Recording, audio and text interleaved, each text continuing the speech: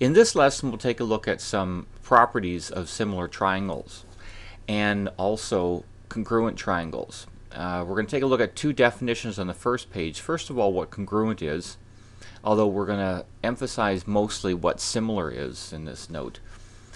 If we look at the two triangles ABC and DEF here, those triangles are exact copies of one another. They're exactly the same size, uh, AB is the same size as DE, AC is exactly the same size as DF, and BC is exactly the same length as EF. Now, those triangles then are called congruent triangles, and hence we have our definition here. Triangle ABC is congruent to triangle DEF, and this is a symbol for congruent. It's an equal sign with a tilde over the top. Now those two triangles are, are congruent if and only if all of these properties hold. If we say ABC is congruent to DEF, then that means that side AB is equal to side DE. Notice that A and B are the first two letters here, so that would be the same side as the first two letters in this triangle. AC, which is the first character and the, and the third, should equal DF, the again first character and the third. And also BC, the last two, should equal EF. And so we have three correspondingly equal sides. Now not only are the, all the sides correspondingly equal, but the angles would be as well. So angle A would be equal to angle D. That's what this says here. Angle B would equal angle E. And angle C would equal angle F. And so that's the property of congruent triangles. Now, similar triangles are two triangles that, again, the, the angles are corresponding equal, but one of the triangles is an enlargement of the other, like enlarging a photograph. And so, this, if we take a look at and compare triangle ABC and GHI, GHI looks like all the angles are the same, and they are intended to be, but the sides have become larger and they're approximately doubled in the diagram here. It looks like GH is approximately double AB. There is some ratio. It doesn't have to be a whole number like 2. You know, uh, GH could be 2.75 times AB. Uh, so there is some common ratio between the sides. So this ABC is similar to triangle GHI, and this is the symbol for similar.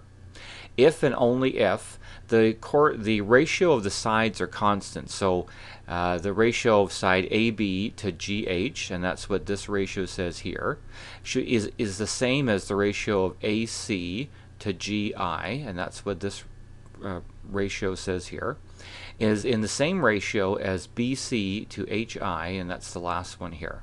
So there's a common ratio between the sides. For example, the larger triangle, perhaps the uh, sides are three times the length of the uh, sides in the smaller triangle. But it doesn't how much it doesn't matter how much the second one is enlarged. The core angles are still correspondingly equal. So angle A and angle G are equal, angle B and angle H are equal, and angle C and angle I are also equal.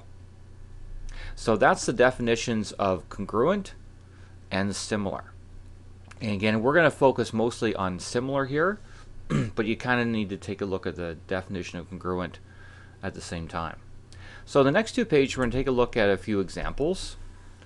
And, and this example, it says, show that these two triangles are similar. And so we have this uh, flagpole over here and, uh, and a guy standing beside it.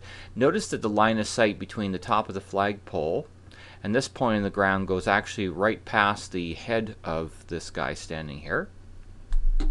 So the two triangles are the triangle ABC and ADE. Now in order to show that two triangles are similar, we can show that the uh, ratio of the sides are the same, or uh, that all the angles are correspondingly equal. And just to complete the triangle here, I'm going to join C to B. Now, in these two triangles, angle CAB and in the smaller triangle, angle CAB would be this angle right here. And that's the same as angle EAD. If we look in the triangle, angle EAD is actually the same angle. And so, we call that a common angle. That's angle CAB in the small triangle is actually the same angle as EAD in the big triangle. And so the two angles have to be the same because they are actually the same angle. Now, if we take a look at another pair of angles, angle CBA, CBA, as long as he's standing upright and the flag is straight up and down, should equal angle EDA. EDA would be this angle right here. And that's because both those angles are 90 degrees. So this is a right angle here, just like this is a right angle over here.